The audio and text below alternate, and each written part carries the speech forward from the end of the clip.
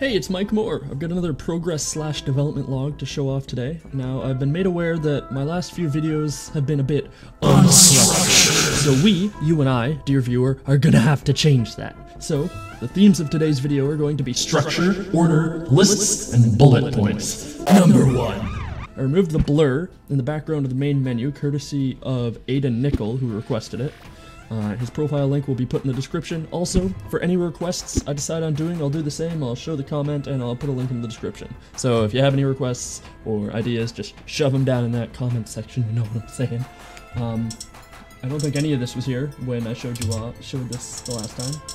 So if you notice, I I do go to the options and it uh, it moves the camera around, customize mech. It uh, moves the camera over to the little mech, which brings us to number two. You can now customize your mech in the main menu. This allows you to change your colors, your weapons, and, uh, well, nothing else right now, but there'll be more there later. Uh, which will be nice welcome news for those of you who are uh, early Patreon supporters, because, you know, you couldn't do that before. You could only change, you, could, you had to go with the default colors, and you could only use the one weapon, but now you can use all of them! You can use all the weapons, and it saves it on your computer, so when you close the game and open it back up, it's there! You, you can use your same settings, so that's cool. Um, we'll go back and uh, gonna take this straight into number three. There are two enemies now. Frago, who is a grenade with legs, and uh, the heavy spider mech. This is the heavy spider mech. When you get up close to him, he does that. He just kind of like shoots bullets in an arc, which forces you to either use your shield or your dodge to get away from them. So that's pretty cool. Um, and hold on, I'll find a Frago here. Frago runs up to you and jumps and explodes and sends out shrapnel, so that's pretty cool. Number four! There's a new shield now, the bubble shield. When enemies walk up to you and hit you, it sends off little sparks. When you hit the offensive button, it pops up and shoves enemies away. That's pretty neat. It sends off she it uses up energy when uh, when stuff hits you, more energy than the other shield does. So if you're better at blocking, then you should probably use the smaller shield. But if you just want a button to defend you and send you into invincibility mode for a little bit, use the big shield. But uh, but yeah, that's that's the abilities right now. There's also a new offensive ability.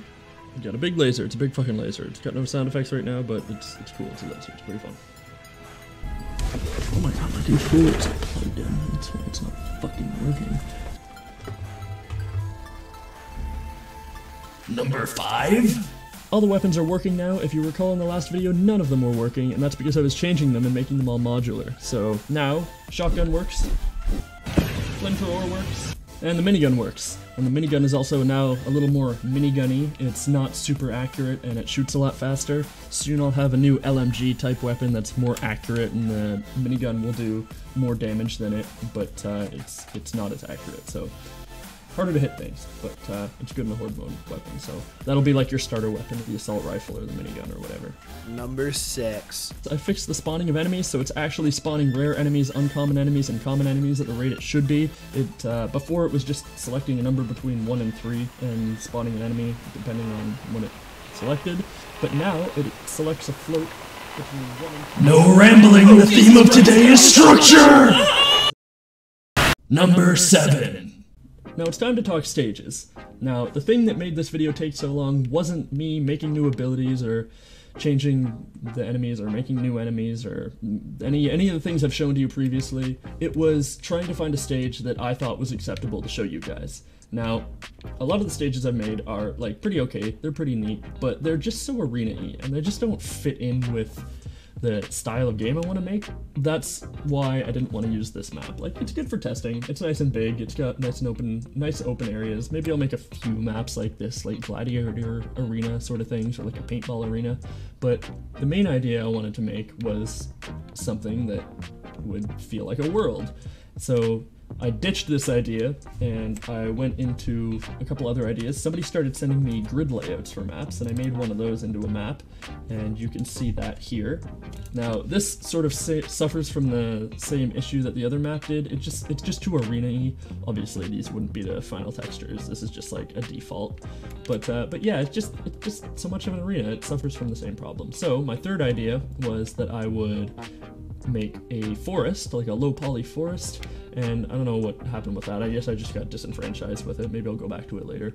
But um, my final solution was just not to make maps.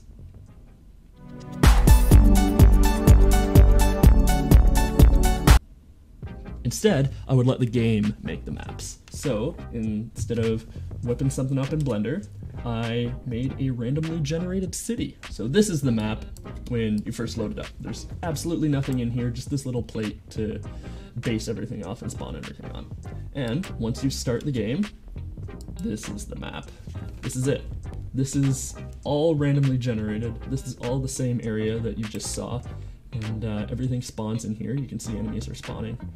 Um, soon, I will be changing the enemy spawning algorithm so they all not algorithm, but the, the spawning code, so they spawn in a circle around you instead of having like set spawn points, which is how it works now.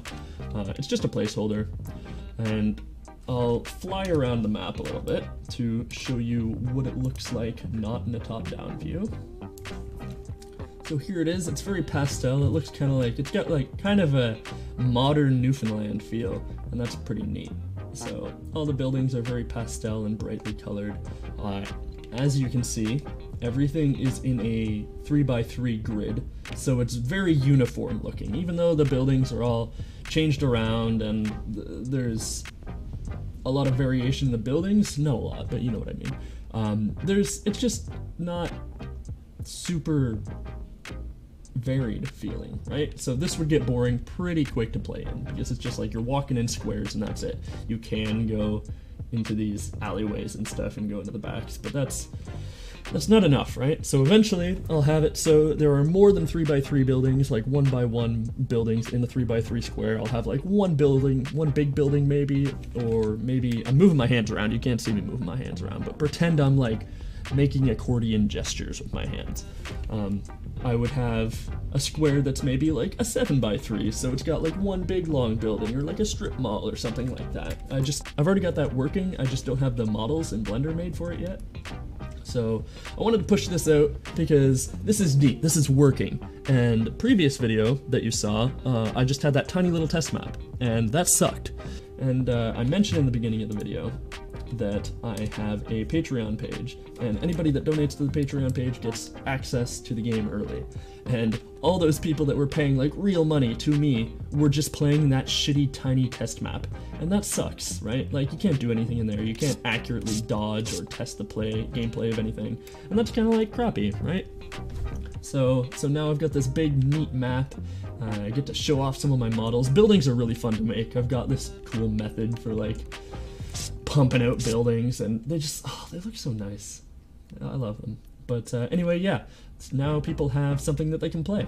So that's cool. Now, the bottleneck for this, of course, is things that you can go inside of. If you're in a top-down camera view, if you go up to something like this, the camera either like clips through whatever you're looking at and it looks really fucking janky and broken, or the camera goes closer to you and that just looks bad. If you make the camera go up really close, you can't see anything around you in top-down, so that's bad. So what I want to do is make it so everything in the area of the camera that you can see, like in a cone, just becomes invisible when you go into a building. Like, let's say you go into a parking garage in one of these squares. Uh, the, the building around you would become invisible, but the parking garage itself would stay visible while you're in there fighting stuff easy thing to do would just be moving the camera closer to the player. But I don't know if you've picked up on this. Here at Gambsmoore Incorporated Industries Gamesville, we don't do things the easy way, we do things the fun way. Man, it's just so cool. Like, look at this. I've generated a city. It's awesome. I love it. Maybe what I'll do with the low poly forest is have the low poly forest generated as well, uh, randomly. That'd be super neat.